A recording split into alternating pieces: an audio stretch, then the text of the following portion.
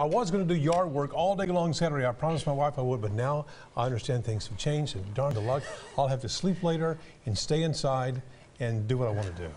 That's just the way it goes sometimes, I isn't it? Miss Renee's not listening. I hope she's not either, or I'm going to have a nod about right there. Yeah, yeah, that may not be good. Well, we talked about how we would have the chance of rain for tomorrow. What's changing now is that the colder air is moving in quicker, especially just above us. And what that may support is not only just rain, but we may have a snow mixture for tomorrow. Okay. But I have to stress, ground temperatures will remain warm, mm-hmm. air temperatures above freezing, so the impact should not be much at all. good. We'll talk about it in just a moment, but with this colder air moving in, for those of you that like the warm weather, well, maybe we can all catch a plane and go out to LA where the weather will be quite warm. It's 65 right now in LA, and the forecast for the big game on Sunday, yeah, we're looking at temperatures into the 80s. By the time we get to Sunday, we're going to be into the upper 50s and the low 60s. All right, let's come back here at home. Let's get serious and talk about the colder air moving in for the weekend. First of all, very warm these last few days,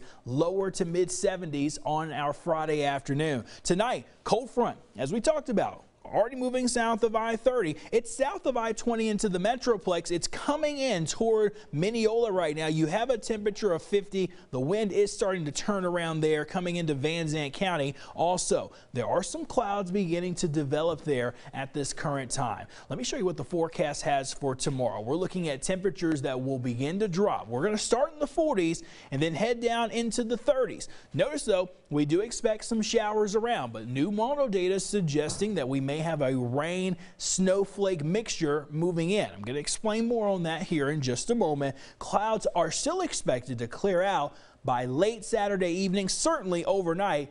And Sunday morning, we're looking at a freeze to develop in East Texas. All right, let's show you futurecast now. We're going to pause it at about 3 a.m.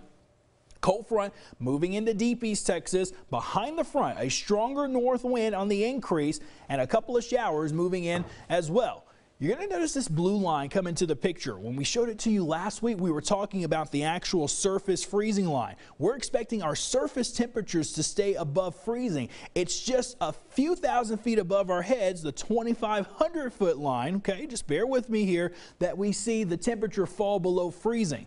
As that moves into the area, that's going to allow some of the rain droplets to begin to mix with some snowflakes. Notice by 9 a.m.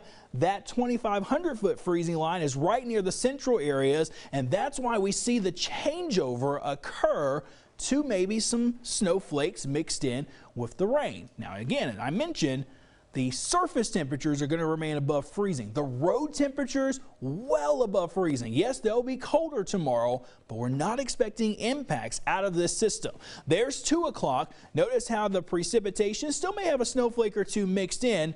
That'll begin to clear out after 5 o'clock for tomorrow, and we'll be left with decreasing clouds. And as a result of the clouds clearing and the wind turning calm into Sunday morning, we've got lows down into the middle and the low 20s. So a very cold start by Sunday morning. So the first half of this weekend, definitely a lot colder. Adjustments made to the temperature. We're going from 40s to the 30s into the afternoon hours. Sunday is nice, 61.